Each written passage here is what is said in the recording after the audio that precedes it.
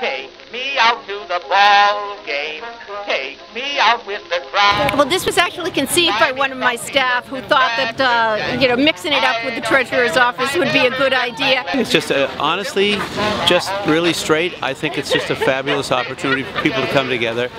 We're part of a team. One of the things that I pride myself on most, and I think we all pride ourselves on most, is that during the almost three years we've been here, we have created a team. People really feel connected to each other. I was pretty concerned when they showed up though and they actually had regulation baseball shirts that were emblazoned with Moneyball. When they challenged us to a game of softball, we said, absolutely, let's do it.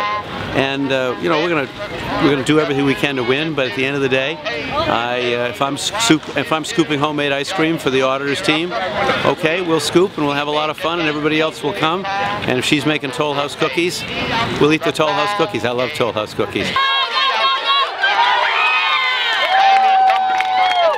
It's been very respectful, actually, all along. Well, we'll see how uh, how they are if we win. However, that's that's when we'll see the true test of whether Steve's a, a gentleman or not.